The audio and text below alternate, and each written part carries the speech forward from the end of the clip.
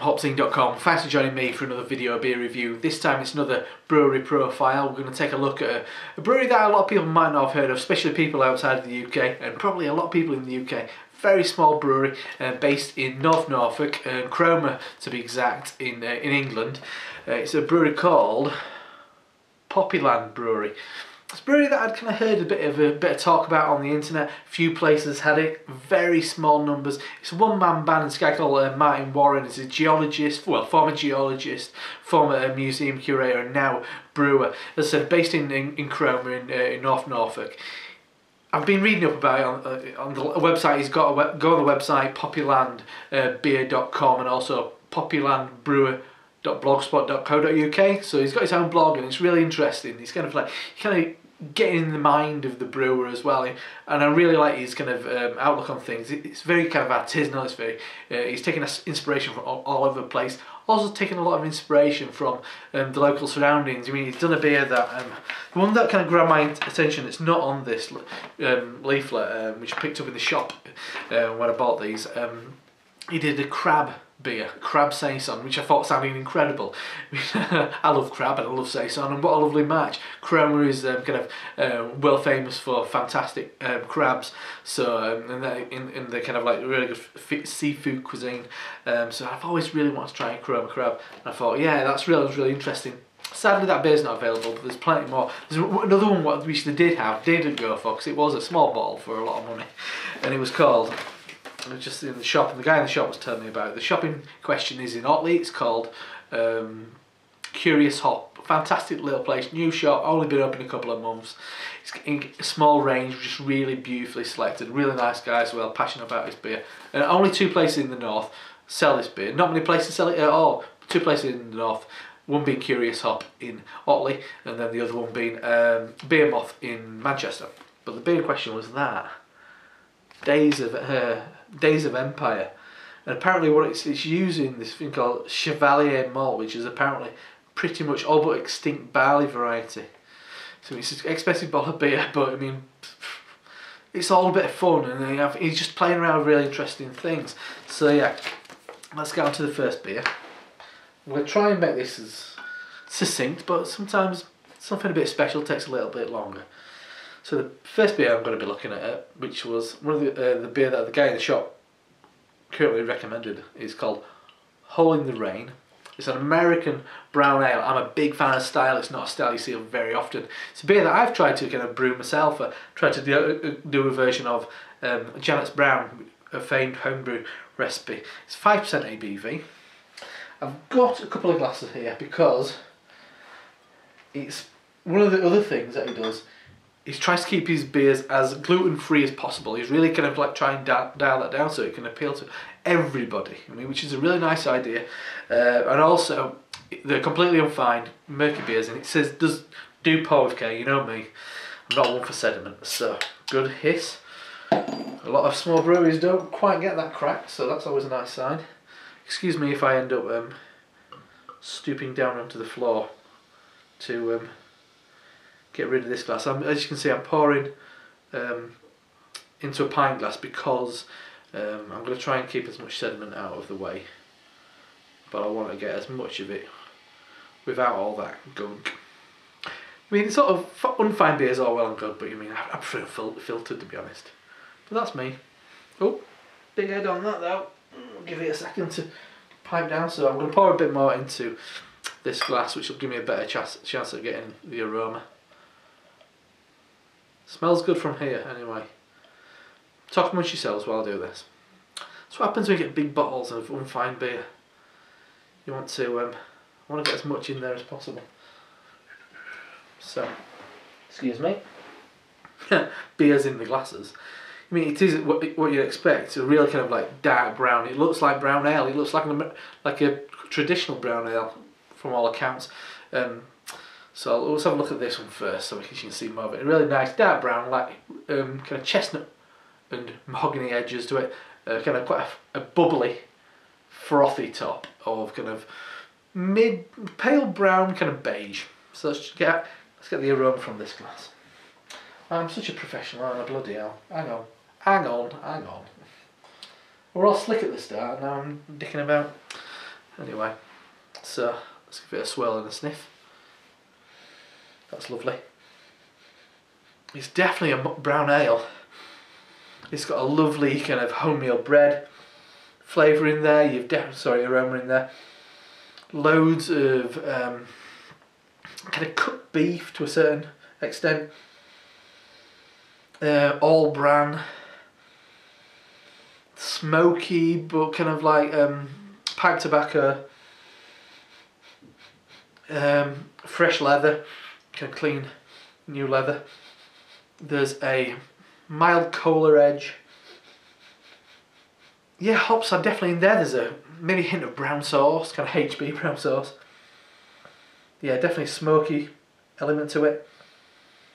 The hops are standing nicely alongside that in a in the form of quite a citrusy note, and definitely zesty lemon, quite zesty, pithy orange. But it, it, I think those brown malt characteristics, kind of, I mean, literally brown malt, maybe a bit of chocolate malt, that kind of thing. Maybe a hint of kind of cooking. Um, I mean, I mean cocoa powder, that kind of thing. Anyway, that's the sniffing glass. This is the drinking glass. so let's dive in. Cheers.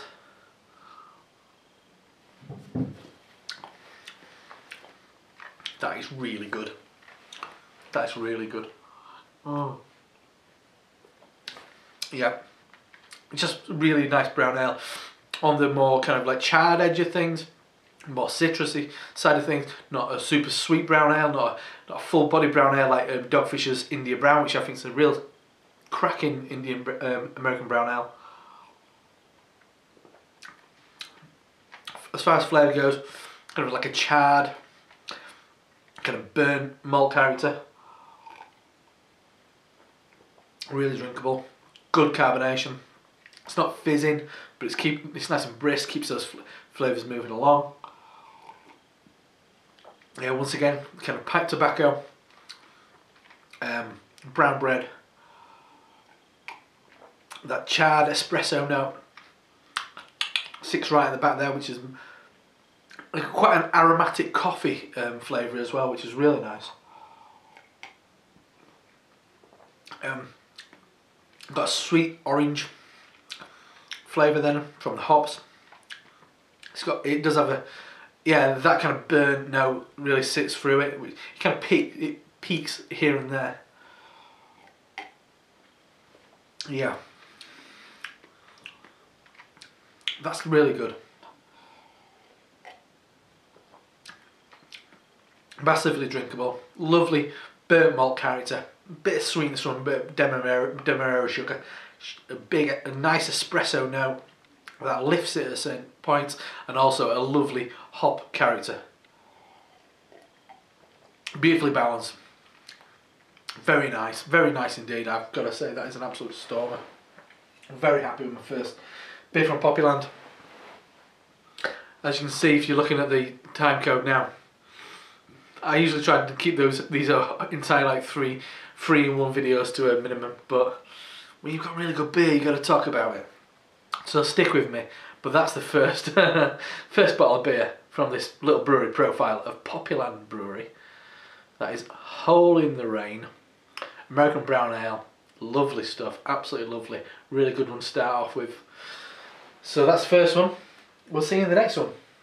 Something a bit, what's uh, a beer that he um, kind of likes play, a style he likes to play around with a lot of saison, but hopped up saison. So we'll see you in part two. Cheers. Right, so we're up to beer two from Poppyland Brewery in Cromer, North Norfolk. We're on to their Indian Summer Saison IPA, 7.2% ABV. The interesting thing about this is um, the malt that they use, the Maris Otter malt they use is from a Branthill farm, which is a, um, a local farm in Norfolk. I've got some details on the um, on my phone about the hops using this. Obviously, it's a hopped up saison essentially. They give you quite a lot of details. It's a really good thing about the website. It's really detailed. They update it quite often. So it's hopped with Ella, Centennial, Cascade, Columbus, and Summit. And hop, and then it's um, fermented with uh, White Labs um, saison yeast strain, which I'm sure all you homebrewers are very familiar with.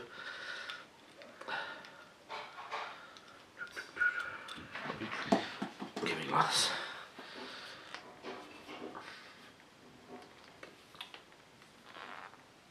That's going to be a pop. Excuse me. Oh, there we go. Nice. Not too riotous. Not spewing everywhere pouring I mean, real typical saison looking beer. This this pale kind of golden colour. Once again, unfiltered. So I'm going to get as much of this into the glass as possible without taking along loads of sediment. And I think I've done quite a good job there. Yes, beer in the glass, a lovely kind of um, golden orange, head lovely, full, fluffy, tight, pure white froth. So let's check out the aroma. That's lovely. That's lovely. It's just full of loads of um, tropical fruits, big time kind of passion fruit, slightly kind of um, um, slightly browning pineapple, kind of papaya, sweet mango, but then there's a nice backbone to it which is a bit more um, lemon curd, sharp and sugary kind of lemon curd. And there's a lemongrass note in there. Yeah, kind of like a chalky thing going on. smells nice, smells lovely and fresh and kind of vital. smells good. Anyway, let's dive in. Cheers.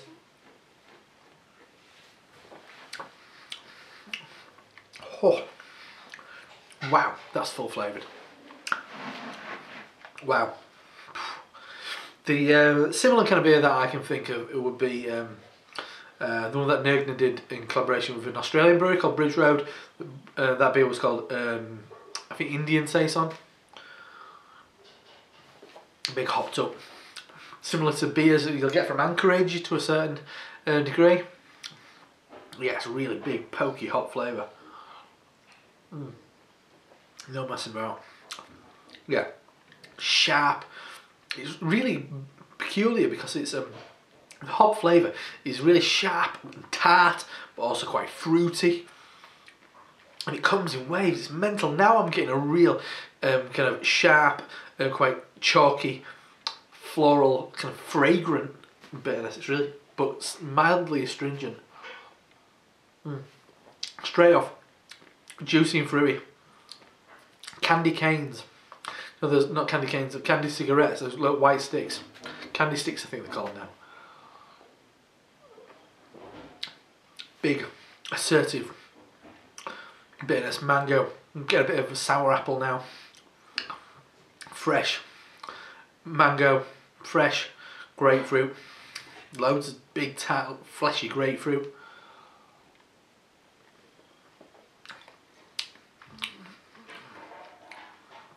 Lychee, loads of kind of um, honeydew melon. Yeah, and then you get this tickle of um, kind of um, fragrance, like you're getting a bit of kind of aerosol in the back of your throat. And the bitterness really super dries out. Got a slight botanical thing going on there, like a real nice quality gin. Again, that kind of um, certain waft of um, um, juniper. Really drying lemon, sharp, bitter lemon the back end. Lovely, real roller coaster ride of a beer. I mean, the, the, the nose is quite tame compared with the bitterness because there's a big old bitterness to it. And it jumps around and attacks you from all sides. Really good. Wow. Full of flavour. really really good. Another really impressive beer from this brewery. I think I found a, a winner for 2014 coming up. That's a bottle of Poppyland's Indian Summer. It's one of those beers you can talk about forever. I mean, it's just got it's got such complex flavour and it's just all over the place, jumping in and out.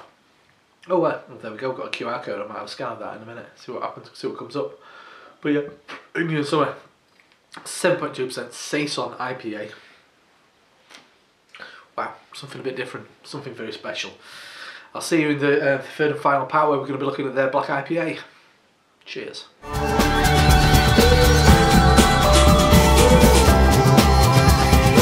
Hi, so we're back. Um, had a bit of a, a bit of spillage issue there. And then, yeah, it was it was very very quite quite lively, not excessively, but I mean it was frothing up like nobody's business. So I've got a bit of a mess on the floor. The bigger glasses is kind of draining over there. You can see it has generated quite a bit big head. I have tried to kill it off with a bit of grease, a bit of grease off my forehead, but buried in glass, really dark brown, quite a, quite a muddy looking kind of um, murky brown. The head beige, as you can see, nice tight frothy top. So let's check out the aroma.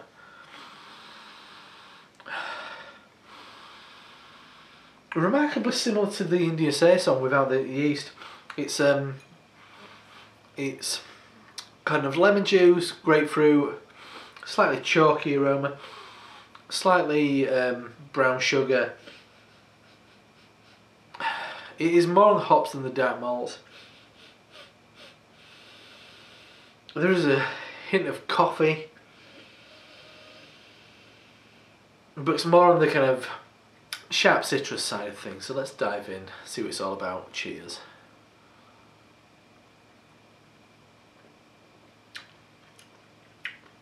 Mm. It really creeps up on you that. That's really nice. Oh, the aroma doesn't promise a hell of a lot, but it really delivers in the uh, in the flavour. Mm. That's really nice. Really good black IPA actually. You're getting a lot of um, uh, quite sharp citrus malt and citrus hops again. It's on that side of lemon, pithy orange, big juicy grapefruit, quite a little bit chalky again.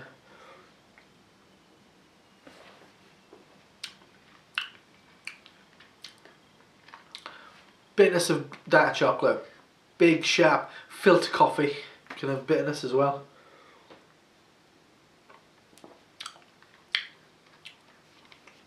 Maybe a touch of um, kind of elderberry, black blackcurrant coffee there is quite fragrant, quite um, quite aromatic, I should say, opposed to fragrant.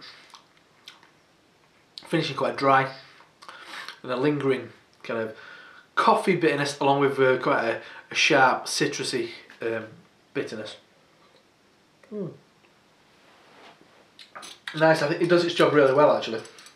As far as black IPA goes, it sits that, um, that middle ground perfectly between the malt and hops. Some um, black IPAs go a bit more towards the malt, some go a bit more towards the hops, and don't have that darkness in the colour, and don't have the roast, but this sits uh, on that gap really nicely.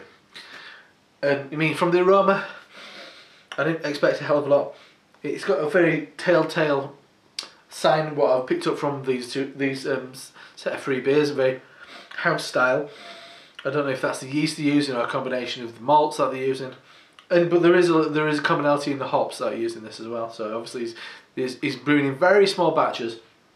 So um, when he's buying hops, he's going to use those hops fresh. So therefore, the the um, the the variety of hops might be quite limited, I guess, with this brewery. I'm speculating. But yeah, this is a really nice black IPA, and only five percent ABV which is relatively low, it's still packing in all those flavours, all that bitterness, all that hop and malt flavour that you'd hope for. So really nice. So that's a bottle of Poppyland's Black Poppy, Black IPA, 5% ABV. Another really nice beer. Get online, check out this brewery, www.poppylandbeer.com. Really nice. A couple of online stockists where you can buy their beer from. Hopefully they're going to scale up. Hopefully they're going to get a bit more attention because you know what? They've got my attention straight away because these are a really nice set of interesting, forward-thinking beers. I hope I get to try some of these more crazy sounding beers. That, as I said at the start, that Crab Saison sounds absolutely fantastic. So I'm definitely going to be ch checking these out as soon as they hit the shelves in um, my local stock to this brewery. So that's a look at three bottles of beer, little brewery, brewery profile, of a relatively new brewery. I think they've been going, I think they were founded in probably 2012, going over a year, a year and a half, two years now. Very small production.